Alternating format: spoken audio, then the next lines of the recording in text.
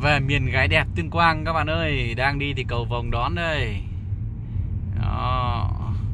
Đang trên xe từ Hà Giang về Tuyên Quang để bắt gái đẹp các bạn nhá.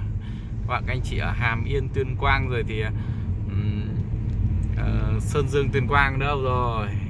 Đây lát mình sẽ về Sơn Dương Tuyên Quang nhá. Nhưng mà rất tiếc là không vào được chỗ chú Bình. Chú Bình thì ờ, hôm trước cũng hẹn rồi nhưng mà mình không rẽ vào được. Hôm nay vào rẽ vào một ờ, người em ở đấy nữa cơ ở xã Phúc Ứng đó thôi bây giờ đang đường về các bạn nhá. Đường về đang mưa rồi. Đang mưa và đã cầu vòng rất là đẹp cầu vòng đón khách luôn. Ơi các bạn ơi ờ, cầu vòng nó ngay bờ. Các bạn ơi trời rất là mưa nha mưa to lắm.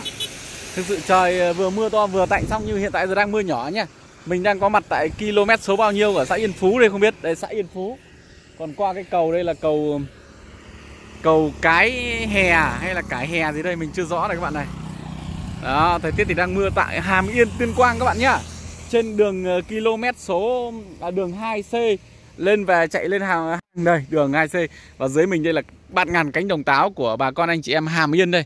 Thì không biết có bác nào là uh, fan của kênh núi đồi lục ngạn không? Còn về Hàm Yên Tuyên Quang ấy, thì mình gửi táo giống uh, gọi là hướng dẫn kỹ thuật cho rất nhiều các anh chị em luôn và đây là cây táo xuân này các bạn này. Nhưng mà cành đẻ rất nhiều luôn nhá. Đẻ cành nhiều lắm. Thế này là là cành này là chưa đạt này. Có lẽ là không, bác này là không xem kênh núi đồi lục ngạn rồi. Thứ hai là là không làm giàn này, Không làm dây trống này. Và cành giờ rất là non nhá, Táo xuân. Đó còn phía dưới xa xa cực kỳ bạt ngàn luôn. Toàn bộ là táo luôn, Táo Hàm Yên. Bởi vì Hàm Yên này thì trước đây các bạn đều biết là có cái đặc sản là cam sành Hàm Yên đấy Đấy, tuy nhiên là cam sành thì đã đã hỏng rồi. Nên là các bác ấy chuyển sang trồng táo rất là nhiều Và hàng ờ, ngày thì vẫn được ờ, cũng như hàng năm, mình cũng cung cấp cây táo giống về cho các bác, anh chị em hàng, Hàm Yên rất là nhiều. Đấy, và các huyện khác ở Tuyên Quang nói nói chung như trong đó Hàm Yên rất là nhiều và các anh chị cũng gọi gọi là gửi giống rồi thì gửi thuốc. Đó, đây. Đây đa phần là táo ờ, các anh chị, một là các anh chị trồng táo đại nhá. Đây một là táo đại nhiều này. Hai là một chút táo xuân đây đây là lá táo xuân rồi. Còn phía bên trong kia đa phần là mình thấy cùng một giống thôi bởi vì cái giống uh, lá táo xuân và cái rau uh, nó giống giống nhau các bạn ạ. Và một số giống T T T5 T6 gì đó. T5 đó T5 T6 tóm lại là là là là khác so với ở trên mình. Các anh chị em ờ, không tỉa tỉa cành này. Để hai bốn sáu tám cái cành mọc ra này các bạn này. Rất là nhiều. Bác này chắc chắn là là chưa xem kênh núi đồi lục ngạn rồi. Còn các bác nào của Hàm Yên mà có vườn ở đây các bác cùng comment nhá. À, và cùng xác nhận xem là đây ở, ở thôn nào nhá vì mình đi qua không rõ được chỉ biết là có mấy cái núi đá này. Và đi qua cũng rất là nhiều ờ, nhiều nhiều cái ờ, vườn táo ở phía trên rồi. Nhưng đây là cánh đồng táo to nhất mà mình sẽ dừng lại gọi là đang mưa nhưng mà vẫn cố gắng dừng lại để gửi đến các bạn anh chị một chút cái video ngắn nha. Đó nếu nếu mà cái đường thuận lợi thì mình sẽ xuống dưới một chút. Đây. Ôi, nhưng mà xuống dưới này khó khó đi qua các bạn ạ. Hiện tại giờ là đang 5 giờ chiều rồi vẫn đang hàm hàm yên tuyên quang đây có bác nào hàm yên tuyên quang để mời vào ăn cơm không? Đó. Đây. Đây mình xuống thử xuống dưới một chút nhé xem sao này. Xem các anh chị ở dưới vườn táo thế nào. Đã đi thì đi cho chót luôn. Đó. Cả các bác bên này làm rào rậu không vào được ấy. ở dưới kia cũng rào rậu không vào luôn các bạn ạ. À. đây thì uh, mời các bác cùng xem. Thiết là trồng tương đối dày này. Đây các bác ờ, trồng ở đây cũng là cây lâu năm rồi nha các bạn nhé. Ở ngoài kia các bạn anh chị là trồng cũng tương đối là lâu năm rồi này và cây tương đối dày, thứ hai là không tỉa tán, thứ ba là không làm làm giàn, thứ bốn là không khoanh như mình, thứ năm là cây để tự nhiên nó vóng lên rất là nhiều luôn. Một số anh chị bên này thì cũng có giàn nhá, một số anh chị bên này cũng có giàn và kéo ngọn nhưng mà không đáng kể các bạn ạ. Đó rồi vàng đấy các bạn đây. Đó, em rồi vàng em ấy lên tay mình luôn này. Đó. Đây, nó còn đang ờ, ở cây ổi này. Đó, thì có lẽ là mình không vào được phía trong rồi. Vừa mưa vừa ướt, đang mưa đang ướt và các bác cái rào rậu rất là khó luôn đấy. Thì mời các bác cùng ngắm lên trên này. Đây thì ờ, táo của các ừ, bạn các anh chị như này thì mình cập nhật luôn một chút nhá. Gọi là canh đồng táo. Phía này có rất là nhiều tròi thì đa phần các anh chị ờ, xe nó to quá. Đa phần các anh chị em ở đây thì đa phần là bán ở dọc cái đường quốc lộ 2 này này. Các anh chị em nói là bán ở quốc lộ 2 đường này. À, nên là các loại táo kể cả táo đại táo T6 T5 gì đó đấy bạn bán rất là ok. Thế còn ờ, mình cung cấp các loại giống như là Đài Loan, Kim Đào, Mật Đại, Mật Táo Xuân Thì anh chị em trồng rất là nhiều và cũng đem lại nguồn thu cũng rất, nhiều năm rồi Và hướng dẫn cho các bạn các anh chị nữa. Đó đây. Nói chung là còn ờ, cánh đồng này sẽ rất là rộng luôn lên cả dưới phía trên nữa và còn rất nhiều nơi nữa để trồng các bạn nhé à, và mình thấy là cái đất đây trồng rất là đẹp này rất là tốt. Dù rằng là chưa bón phân chưa có cái tác động gì trong mùa vụ năm nay mấy đâu. Trừ có một số là là là là, là kéo cành mà cả chống cây nó đơn dưới này này các bạn này. Chống gốc nó đơn sơ như này này. Đó. Nó chưa gọi là chưa có có có gì cả. Hai là mầm nó non nó rất là nhiều. Đấy thôi thì à, gửi đến các bạn các anh chị một chút cái hình tình hình là táo hàm yên tuyên quang nhá. Đây còn đi lên dịch lên một chút mà thấy có cánh đồng táo đẹp nào thì mình uh, gọi là gửi lại cho các anh chị nhé còn như thế này là so với cả chỗ mình thì có lẽ là nó sẽ non hơn và nó sẽ chậm hơn đấy. Đây lá nó còn non như thế này và cành nó còn rất là non luôn một số thì nó cũng gọi là báo hoa thôi. Đó.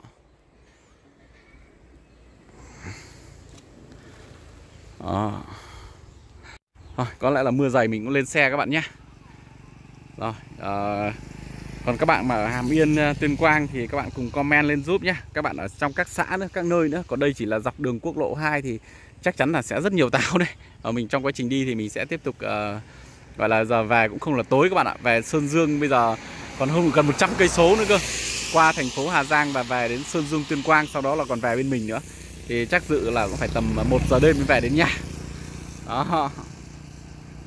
Thôi ra lên xe đây không còn mưa hết quần áo rồi các bạn ạ. Các bạn ơi 8 giờ tối thì đến ờ, Sơn Dương rồi. Đây còn Vĩnh Phúc còn 51 cây này. Vẫn đang ở trên quốc lộ 2C đây đó vào nhà ờ, một người em ở Sơn Dương nhé. À, rất tiếc là không vào được chú Bình. Chú Bình thông cảm nhé nếu chú ờ, xem được video này nhé. Cháu vẫn đang ở Sơn Dương đây đang ở Phúc Ứng đây. Nhưng mà không vào được nhà chú thì uh, rất mong chú thông cảm vì chú cũng đã gọi là mời rất là nhiều rồi. Và hôm qua hôm kia cũng điện uh, bảo chú là cháu cũng về qua nhưng mà không biết là có vào được không. Nhưng không vào được thì để khi khác chú nhé. Hôm nay tối rồi xong cháu phải về luôn đấy. Cháu ăn cơm tại Phúc Ứng này xong để về luôn nhé và chỗ một người em ở đây ạ. Đó thì à, à, gọi là đi qua Hàm Yên và giới thiệu các bạn các anh chị cái táo của Hàm Yên và của các bạn nhé. Còn ở Sơn Dương chỗ Phước Ứng này thì là cánh đồng ruộng này là lúa thôi không phải có táo đâu các bạn ạ. Đây tối rồi vào ăn cơm bây giờ lại gần 8 giờ tối rồi. Ăn xong 9 giờ là sẽ lại ra về Bắc Giang luôn đấy các bạn. Còn cũng khoảng uh, gần 200 cây số về về chỗ mình đấy. Đó thì uh, cảm ơn các bạn nhé. Chúc các bạn buổi tối vui vẻ tràn đầy niềm vui và hẹn gặp lại các bạn ở trong các video tiếp theo. Đó còn bây giờ thì mình đã về vườn táo ở nhà mình đấy đó vườn táo ghép nhé. Ghép uh, được uh, một tuần hoặc hơn chục ngày các bạn nhìn này cùng kiểm tra mắt này. Đó mắt đã kéo ra hết rồi này. Đó đây mắt nó đã nó đã ăn gọi là má lửa hết để chuẩn bị nảy lên đây rồi. Còn tầm một tuần nữa là cắt phía trên này là cho bung mắt các bạn nhé. Đó thì đó là về tàu ghép thì cũng xin cảm ơn em đăng nhé tại bạc liêu. Ờ, em đăng và các anh chị em ở trong miền nam thì đang ờ, phát triển và đang thu cây táo hồng đấy thì mình cũng đã hỗ trợ các anh chị em uh, tư vấn hỗ trợ các anh chị em về diệt con sâu đỏ ấy. con sâu đục quả ấy. Thì em cũng đã gửi cây táo giống ra để mình ghép ghép giống ngoài Bắc này để mình thử nghiệm nhé. Thì đây là cái cành táo của em đăng nha. Đã gửi ra phách nhanh ra cho mình đây. Trong quá trình đi uh, uh, Hà Giang thì cây táo đã đến và mình không có ở nhà được. Đó thì đó, thì một số đã ghép rồi các bạn nhé. Đó, đây còn có hai em cong này. Thì ở nhà thì mình đã cho ghép. Đó, đây, cũng đã ghép gần hết rồi. Nên là cái video clip mình ờ, về ghép cậu cây táo này thì mình không ờ, khui và ghép nhé. Thì mình không không, tóm lại là không quay được. Nhưng mà đây, cái cành táo này là cành táo ở trong miền Nam này, táo hồng này. Đó, thì đây là những cái cành mà ờ, gọi là đã ghép xong hết rồi nhé. Ghép được mấy luống rồi. Đấy, thì cây này là coi như là là bỏ rồi các bạn nhé. Đó đây. Hôm đấy thì mình cũng nhờ em hướng dẫn ờ, em đăng là cắt và gọi là ủ ẩm ấy. Ủ ẩm và ờ, chuyển phách nhanh ra. Thì cái uh, quá trình đi dây chuyển ra thì đã ghép xong được khoảng từ 3 hôm nay rồi. Đây còn khi mà mình về đây thì cây táo nó đã gọi là những cái bộ cành này là cành bỏ cành loại rồi các bạn nhé. Đó thì đầu tiên cũng xin cảm ơn em đăng em đã tặng mình à, gọi là cái giống táo miền Nam luôn. Để mình ghép và thử nghiệm trồng ở ngoài Bắc các bạn ạ.